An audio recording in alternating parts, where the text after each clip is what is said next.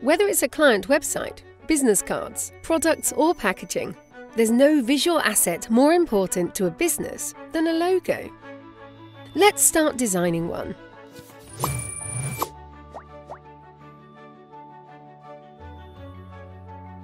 Logos start well before any design work. It's all about research, research, and more research. Understanding what makes the client unique is critical. Zero in on this point of difference, often referred to as a USP or unique selling proposition. This is what sets them apart from others and appeals to their customers. Start with questions that help identify their USP, like what does your brand do better than anyone else? What's the best compliment you've gotten from customers? What three words best define your offering? What does your team like best about working here? What brand accomplishment are you most proud of? Understanding the client means understanding their audience. They might have existing research and data about their demographics and interests. Getting access to this will be important. Otherwise, you'll need to find it yourself. The clearer you get on who and what makes the business unique, the more equipped you'll be to deliver a logo that is relevant, original, and useful to your client. Scrutinize the competition. What's already on the audience's radar? What are the others doing? Then, look at the broader industry and similar industries. Note which logos work and which ones don't. Are there trends worth mimicking, or ones to steer clear of? This research and the questions raised are great conversations to have with your client, as they will have existing insights and opinions. Try to remain objective and use the information gathered to help drive your design decisions and process. A great logo is all about substance over style and substance comes from research. Equipped with research, it's time to start working on the logo. First things first, step away from the computer. Working on screen can be slow. They are also distracting, tempting us to start perfecting our work before our ideas are truly ready. Hand sketching is a much more effective way to tap into thoughts and ideas and work quickly and fluidly. Thumbnail sketches are common in the early stages of ideation. Why are they called thumbnails? Because they are small. Draw your ideas small, fast, and loose.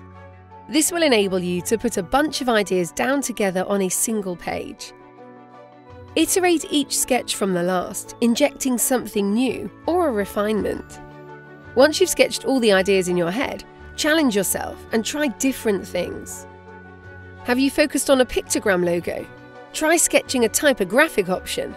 Maybe a monogram works better.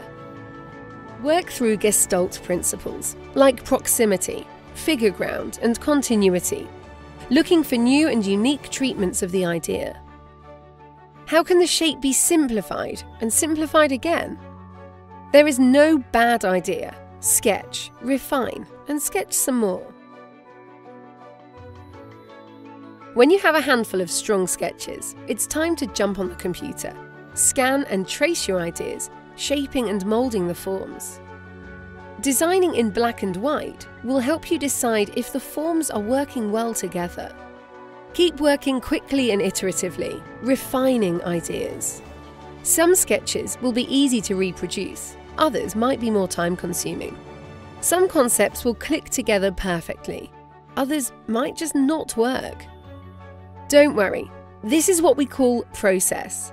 Don't be surprised if you work through dozens and dozens of options. Keep going. In the end, the goal is to produce a handful of unique concepts that can be proudly presented to your client.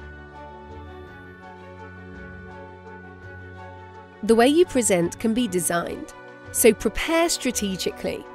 Include your research and explain your thinking. Show the development. Taking your client on a journey will help them understand your decision making. Involving your client in the process will help them feel invested. Encourage the client to make small, specific decisions.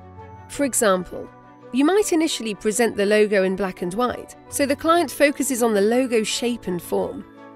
If you have colour ideas, show them later in the presentation. Step by step presentations lead to organised and logical decisions. Try presenting your logo design in use. Mock ups of stationery, signage, products, or digital media will help the client see the logo come to life. Feedback is inevitable and should be welcomed. The client needs to feel very comfortable and excited to move forward. Editing and refining the logo with the client is a necessary part of the process. They might love a single concept, or they might love all of your concepts. They might love a single detail and ask you to develop on that. Or they may send you back to the drawing board. Your job is to design something great and create something that your client loves.